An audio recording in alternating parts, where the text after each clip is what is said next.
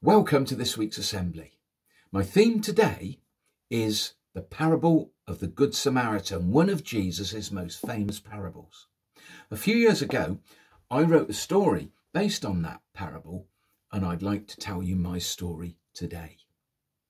My story is set in Africa, and there was a, a leopard who had given birth to a baby, and she'd hidden a baby in long grass while she went off hunting because it, she needed to keep it safe because lions and hyenas would try if they saw the baby would would kill it. But off she went hunting and unfortunately she had an accident and died. Baby leopard didn't know about it and he kept calling for his mummy getting hungrier and hungrier. Now up in the sky flying around was a toucan called Beaky. And Beaky could see for a long way because he had a bird's eye view. And he knew what had happened to the baby's mummy, and he knew that the baby was in the long grass. And he knew that the baby needed help because it was too young to survive on its own. As he flew around, he saw another leopard come towards the baby, looked at the baby, then saw a gazelle running past, and the leopard began to chase the gazelle. A few minutes later, another leopard came along. The leopard looked at the baby leopard and said, Sorry, I can't help. I've got to go and see my grandmother. And off it went. And as Beaky flew around, he saw that the baby leopard was in great danger because coming from that direction straight towards the baby leopard was a big male lion. And Beaky knew that if the lion saw the leopard, he would kill it because that's what lions do. So up in the sky, Beaky flew around and a battle was going on in his mind. I don't know if you've ever had this.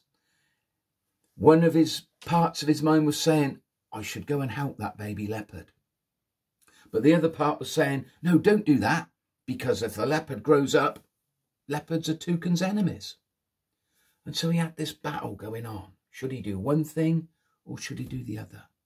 But as he saw the lion going closer towards the leopard, he thought, I've got to do something because that little leopard is defenceless. It won't stand a chance. And so Beaky flew down in between the lion and the leopard. And Beaky shouted at the lion, Oi, fatso, you need to go on a diet. And the lion growled at Beaky and tried to pounce on him, but Beaky just flew over there a little bit. And then Beaky turned around and said, Oi, your mane needs a good old brush. It looks like an exploded mattress. And the lion got angry and tried to jump on Beaky, but of course Beaky just flew even further away. And Beaky said, Pwah, you stink. Go and have a wash, and your teeth, they're black as coal. And the lion got so angry and he jumped at Beaky, but of course Beaky just flew up in the sky. And the lion carried on, walking in that direction away from the baby leopard. And Beaky then flew down by the baby leopard, and he could see that the baby leopard was dying because he needed food and water.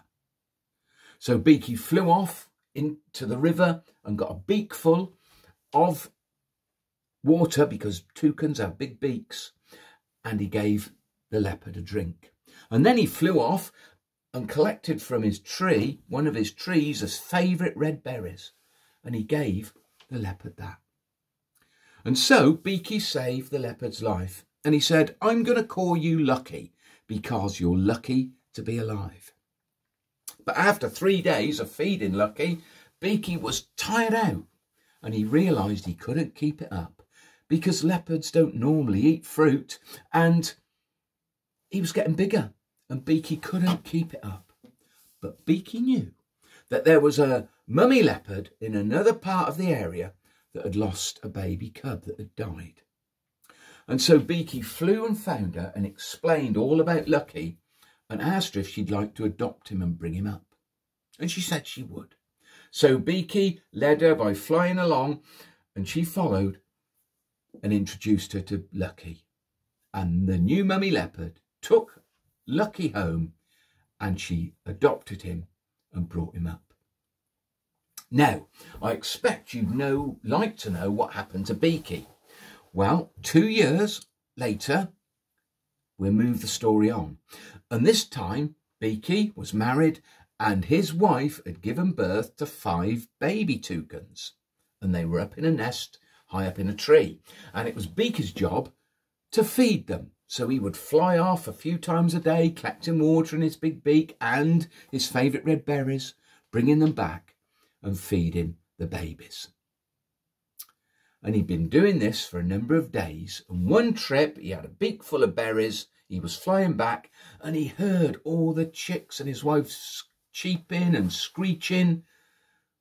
And he panicked. He knew they were in danger and he flew fast. And as he flew towards the nest, he could see that climbing along a branch towards them was a great big leopard.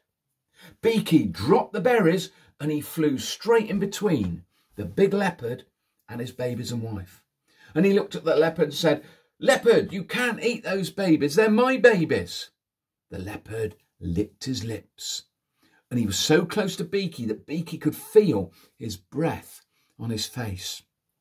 Beaky said, Look, they're so small it'd only be a little tiny snack for you. You'd still be hungry, but they're all I've got. The leopard licked his lips again and he stared at Beaky. And the leopard said, Beaky, is that you? And Beaky looked back at him and said, Lucky, is that you? And Lucky said, Yes, it is. And he pounced on Beaky and licked him all around his face and gave Beaky a great big wash. Oh, it's great to see you, said Beaky. You've survived. You've grown up. Um, and, and Lucky said, Yes. He said, and that's thanks to you. You saved me when I was a cub. And you know what? After that, they became really good friends, and Beaky and his family saw Lucky every week. Now, my story is based on the Good Samaritan, which I'll quickly tell you in case you don't know that story. But Jesus was asked by um, a religious person, Who is my neighbour? Because Jesus had said that the, the great commandments, the greatest commandments is to love God and love others. Oh, love my neighbour. And the man said, Who is my neighbour? And Jesus told this story. And there was a man going on a journey and he was attacked by robbers, beaten up, and left for dead. And a priest came along, looked at the man injured, and ignored him and carried on. And then a religious lawyer came along, looked at the man, and ignored him, and went on his way. But then a third man came along, a foreigner, a Samaritan, someone from Samaria, who actually stopped, helped the man, bathed his wounds, put him on his donkey, took him to an inn, and paid the innkeeper to look after him. And Jesus said to the man, Who is, who was the man's neighbour? And he said, The one who helped him. And Jesus' point was that everyone is our neighbour, everyone that we come into contact with and we through our lives we will have chances to help lots of different people. And to love others is to do things to help them. Now what about a quiz then on my story? Okay here we go. We've got 10 questions i think it is. Question one. What was the toucan's name? Question two. Why did one of the leopards not stop to help him?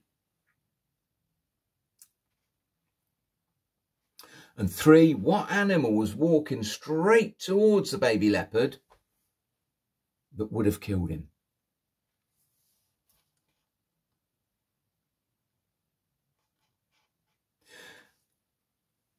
What did Beaky do when he flew down by the baby leopard and he saw that the baby le leopard was dying? What did he do?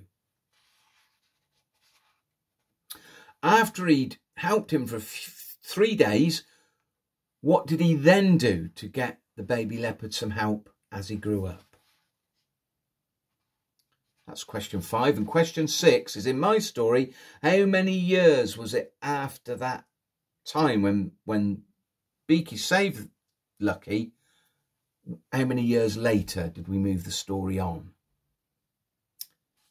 Number seven, how many babies did Beaky have? Number eight, when Beaky heard a big loud noise coming from his nest, what was Beaky doing? And number nine, when Beaky saw the leopard going towards his babies, what did he do? And when Lucky realised it was Beaky, what did Lucky do? And number 11, can you put in your own words what the story of the Good Samaritan or my story teaches us? Okay, that's some of them are hard. Let's see how you got on. Toucan's name was Beaky. Question one. Question two. Why did the leopards not stop? Either one saw a gazelle or one had to visit a grandmother. Number three, it was a lion. Number four, when Beaky flew down after he got rid of the lion, what did he do to stop the baby leopard from dying. Fed him berries or water. And number five, once he'd fed him for three days, what did Beaky do? The answer is he found a mummy leopard, uh, or a mummy leopard adopted Lucky. Number six, two years passed. And number seven, five babies. Number eight, when Beaky heard a noise coming from the nest, what was he doing? He was getting food or water. And what did Beaky do when he saw the leopard moving along the, the branch towards his babies? He flew in between the babies and the leopard. When the leopard realised it was Beaky, what did he do? What did Lucky do? licked him all in the face. And number 11, put in your own words what the story teaches us. To be kind to others, to help others, to do good things for others whenever we can, something like that. I've gone through that quite quick. I hope you got on well. Um, I'm going to say a very short prayer before I go. If you agree with my prayer, you want to make it yours, say Amen. Dear God, we thank you that you love us and we pray that you would help us to be able to help others by being kind and helpful and thoughtful towards them. Whenever we get a chance to help someone, someone help us to do that. Amen. Now, I, I hope you liked my story about Beaky and, and Lucky. And when you see me again, maybe you could tell me if you liked it or not. And if you liked it, what was your best bit? Okay, I hope you have a good week. Bye. Bye.